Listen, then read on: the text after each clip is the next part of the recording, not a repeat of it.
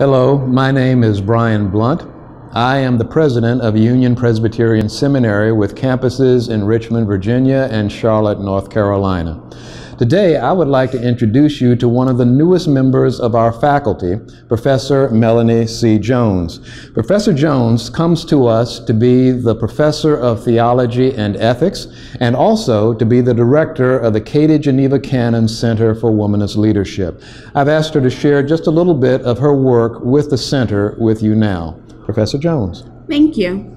The term womanist is derived from the black southern folk expression, you actin' womanish, of a mother to her girl child.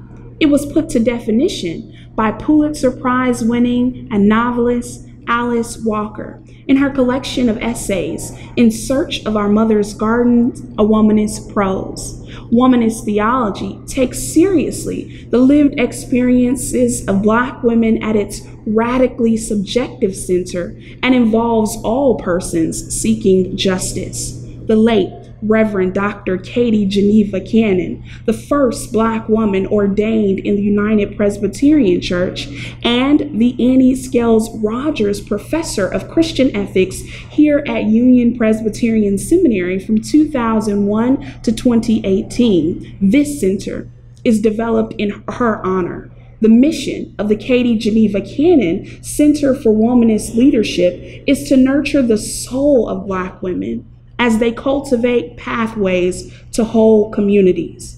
We invite you to partner, to join, to visit, to explore with us as we help Black women to thrive, survive, and flourish in theological education, the church, and the world at large. Thank you.